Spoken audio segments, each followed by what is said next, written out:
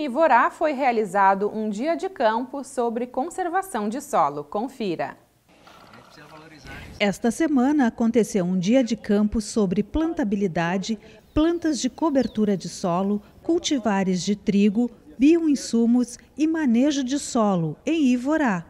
Então, dentro das atividades que a gente tem aqui, nós temos variedades de cultivares de trigo, temos uh, plantas de coberturas, temos ações que qualificam a plantabilidade da lavoura, das lavouras de inverno, e que possibilitam o agricultor a tratar a sua atividade agropecuária de forma integrada, trabalhando a cultura pós a colheita principal, que geralmente é a cultura da soja ou do milho aqui na nossa região, e adentrando o inverno com um planejamento adequado cuidando todas as características ambientais e econômicas que a propriedade tem como primordial.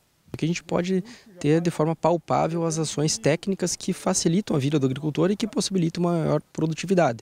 Por exemplo, o manejo de solos, a gente consegue ver como ele foi feito aqui e replicar isso nas propriedades rurais de forma bastante efetiva né, e tendo resultados conclusivos aqui já em observação. O dia de campo contou com a participação de produtores e técnicos da região central do estado. A gente está recebendo produtores de toda a região, né? aqui Júlio de Castilhos, a Itaara, né? Silveira Martins, aqui de, de Ivorá também, né? a gente está recebendo de, de todos esses, esses municípios. Aqui a gente está demonstrando aqui nessa estação uh, cultivares de trigo, né? então alguns produtores já observaram algum, algumas variedades aí, ó. O ano que vem eu não tinha pensado em plantar trigo, mas vendo cultivares aqui, né, eu já estou pensando em plantar alguma, alguma dessas, dessas aqui. Um dos destaques da atividade foi demonstrar a importância das plantas de cobertura de solo. As plantas de cobertura, né, além de cobrir o solo né, de, da incidência solar, ah, as plantas de cobertura elas vão auxiliar né, ah, no sequestro de carbono, né, que o sequestro de carbono nada além é nada mais é do que a quantidade de carbono que a planta consegue sequestrar do nosso ambiente. Então, quanto mais plantas de cobertura a gente tiver né, no, no, nosso solo durante o ano todo, né, mais carbono vai ser sequestrado da, da atmosfera e agora está batendo na nossa porta aí, uh, o produtor futuramente, com, dependendo da, das condições, ele vai poder uh, vender esse, esse carbono aí como uma, uma renda extra né, do, do que ele já produz na, na lavoura, além do, dos grãos ou bovino de leite, o que for ele tiver na propriedade. E além das tecnologias apresentadas, os agricultores também puderam observar a paisagem. Aqui nós temos um exemplo de uma agricultura conservacionista,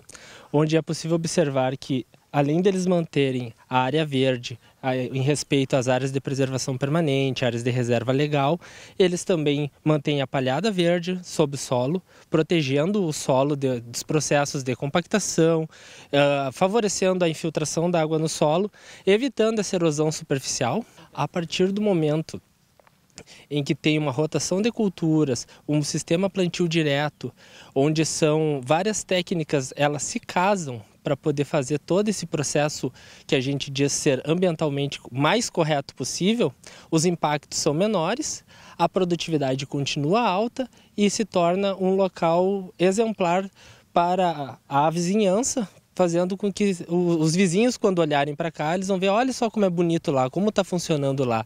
E gera um equilíbrio, que é o que todos nós buscamos como sociedade, né? O equilíbrio entre a produção e a preservação, gerando uh, as melhores, uh, os melhores resultados possíveis para o produtor, que ganha, dá para se dizer, um selo verde em relação à sociedade, em relação às empresas e tudo mais. A atividade faz parte do projeto Plantio 360, que é uma parceria entre Emater e Singenta e visa promover a saúde do solo e a plantabilidade das culturas.